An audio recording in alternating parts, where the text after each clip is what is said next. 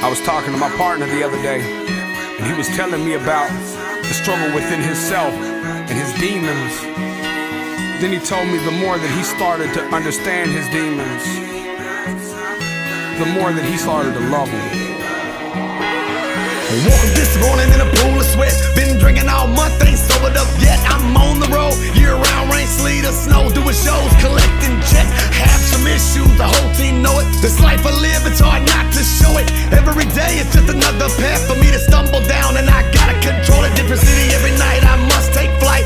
Only problem, no plane in sight. I might result in pharmaceuticals. Them Percocets go to Lil Wyte, and I gotta drive first thing tomorrow back to Memphis to see my daughters. If I don't show up, they'll know something is wrong. That is just not like they father.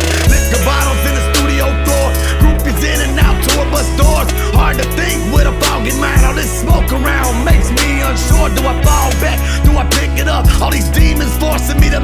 choice. I'm hollering loud. I wanna put this down. At the moment, they don't hear my voice. I'm learning to live with my demons. I'm learning to live with my demons. I'm learning to live with my demons. I'm learning to live with my demons.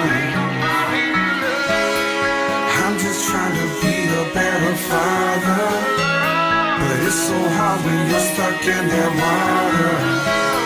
I'm learning to live with my demons. I think I'm falling in love with my demons.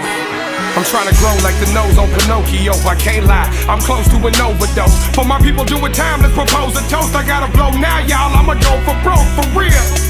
Ex friends looking sour, shows getting crowded and the crowd getting louder. Used to stay up late hours, really selling powder. Dirty ass kid, barely ever took a shower. I'm a grown man now when I'm fresh and I'm clean. Smoke a little weed and I mess with the lean. I got a couple demons that be messing with me. The judge wanna throw away the kid, definitely. I can't smoke weed now cause my PO tripping. Got a son on the way and his mother is bitching. I should calm down, shut up and listen. But I keep on touring and keep fucking with bitches.